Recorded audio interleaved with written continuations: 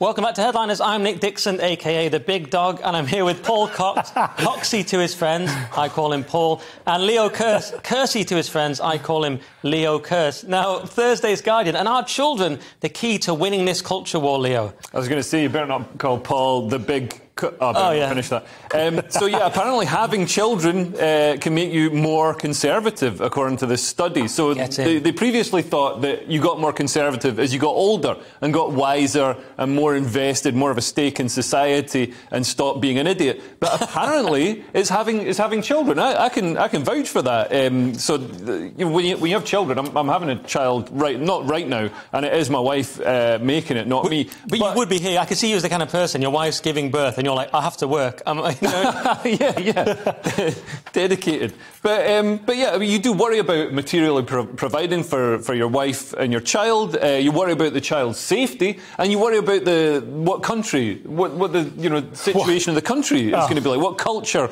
yeah. uh, is is going to be like. Uh, and what's what's interesting is so the birth rate has been dropping in the Western world and in the developing world as well, but in particular uh, in the West. So this could be causing the wave of toxic liberalism that's been sweeping through and destroying our society.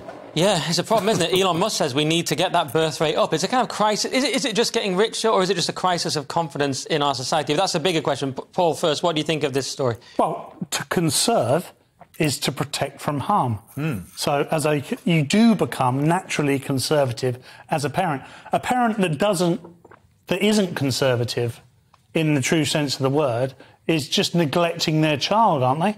I mean, what are we supposed to do? What's, what, what do socialist parents do?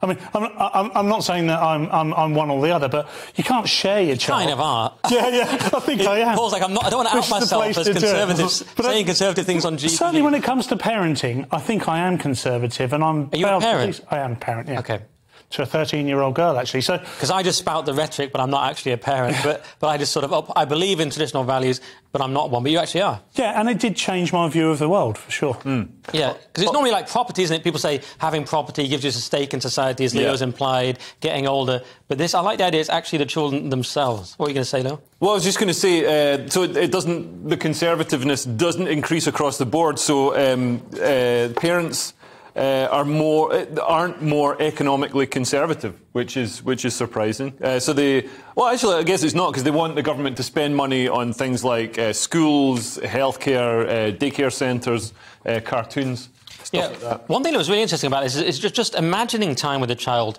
gave you more socially conservative responses yeah. in this test they did. So you didn't even have to have a kid. You just have to think, what would it be like to have one? Oh, I'd be massively right wing. yeah. Interesting, isn't it? Yeah. All right. Well, and, like and, this might explain why um, you know people on the right want to ban abortion, restrict abortion so much. You know, so then those people will be they'll be forcing people not just to have children, but to vote for them as well. Yeah, the left's obsession with abortion has got, got a bit weird, hasn't it? It's gone from rights to like celebrating it. Yeah. IMH show. Anyway,